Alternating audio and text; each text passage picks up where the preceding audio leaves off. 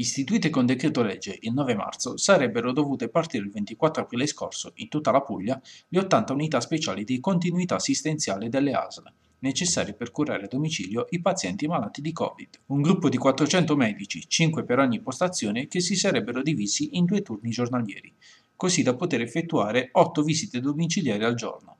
Ma ad oggi non sono state ancora attivate.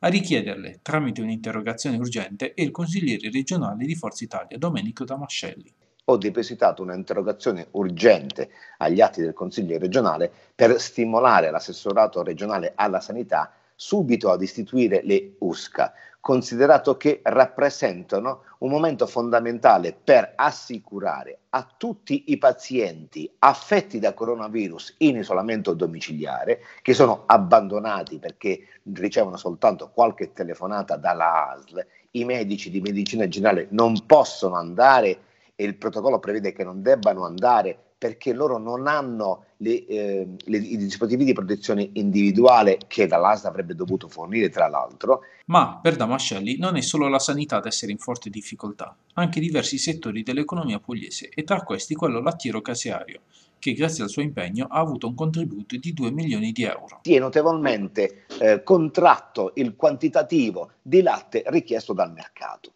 Siccome le vacche non sono delle macchine che le puoi spegnere, ma sono degli esseri viventi, quindi degli animali, e vanno nutrite e munte ogni giorno, non può fermare il ciclo produttivo un'azienda zootecnica, devono comunque produrre.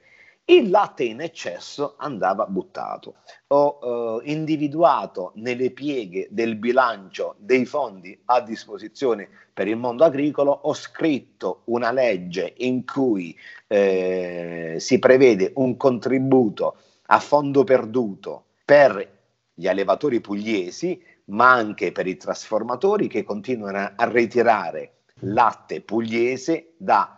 agricoltori con attività ubicate sul territorio regionale. Ecco, in questo caso quei trasformatori si caricano di latte che però non riescono a piazzare sul mercato, quindi vanno sostenuti anche loro. In più abbiamo previsto la possibilità di eh, consegnare il siero di latte anziché agli smaltitori, agli impianti di biogas per un eventuale ritorno energetico e quindi abbiamo cercato di sostenere una categoria che rappresenta un fiore all'occhiello del nostro territorio e che eh, in questo momento stava soffrendo fortemente